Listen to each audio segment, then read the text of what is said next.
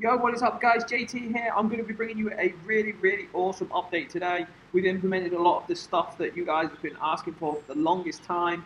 There's always some things that we need to get in first, but we finally felt like it was time to get vehicle fortifications in and those improvements to the RV that you've all been asking for so much. So let's jump straight into this one, guys. Enjoy. In the original concept of the game, we showed vehicle fortification, and you could snap pre-placed fortifications right up onto the windows in predetermined locations. What we wanted to do with the vehicle fortification was make it fully free, free placed, which allows you to add strength to the overall vehicle strength, but also allows you to place items onto the vehicle that will deal damage to the zombies and allow you to lock up windows to, to ward off other players, etc., so they can't shoot you through those windows. This is completely free placed, and any surface on the vehicle, provided it'll fit, can actually have items snapped to it now. In addition to vehicle fortifications, we've also added vehicle attachable items. So as you can see here, you can place pull bars onto vehicles, you can place light bars as well. And of course, the game wouldn't be complete without being able to attach a plow. So you can get the plow up onto the front of the vehicle now, and that actually adds strength to the vehicle, but also allows you to push zombies out of the way more easily. And we've rolled this out to all the vehicles, guys, so you can literally, if you can imagine it, then you can do it. You can place these items onto the vehicles. Alright, it's time to talk about the number one requested feature in Survive the Nights, and of course that is the RV. For the longest time it's been in, but we haven't got around to implementing all the extra little features in there that we really wanted to get in. So we've gone ahead and done that in this update. You can now log off at the RV and that sets it as your home, so that means you can have a moving base. Doors now work in it. Uh, then we've implemented the ladder logic in the back so that you can climb up into the roof and use that as a flatbed surface. While the engine is running, you can actually use the stove top now which is so cool. You can make a stew in there. You can drive around with it in your, in, obviously in your base, so you can take your food along with you anywhere you want to go. In addition to that, the faucet also works, and the vehicle is actually lockable now as well.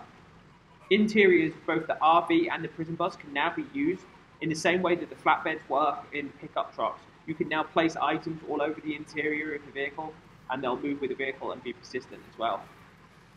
Two new vehicle variants have been added as well, and those are empty versions of both the RV and the prison bus. And this allows you to use all the interior space to set it up how you would like it to be instead of using the furniture and fittings that are already in there. This really gives you the flexibility that you need to set your RV or your prison bus and moving base up as you want it to be. Realistic tyre punctures give the survivor something else to be thinking about.